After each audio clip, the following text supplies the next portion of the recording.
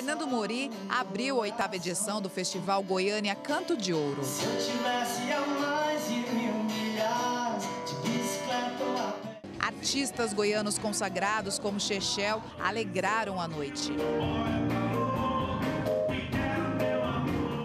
O maior festival de música popular do Brasil reúne mais de 100 artistas e leva ao público goianiense a MPB produzida aqui na capital. Cada dia nós nos realizamos com a ação da prefeitura e no caso aqui da área cultural, criando projetos, programas que além da oportunidade que se oferece aos artistas, aqueles que sonham com a arte, com a cultura, é a oportunidade que dá ao povo de viver a nossa cultura e as nossas artes. Nós temos aí 13 semanas com, com praticamente todos os músicos da, da MPB de, de Goiânia né, participando, com alternativas para os novos. O festival acontece até o final de julho. Às quintas e sextas-feiras acontecem shows variados e aos finais de semana tem muita música instrumental. Desde quando ele foi criado, o importante é a integração. Sobe no palco, por exemplo, hoje, quatro artistas que nunca cantaram juntos. Então, assim, é interessante essa integração.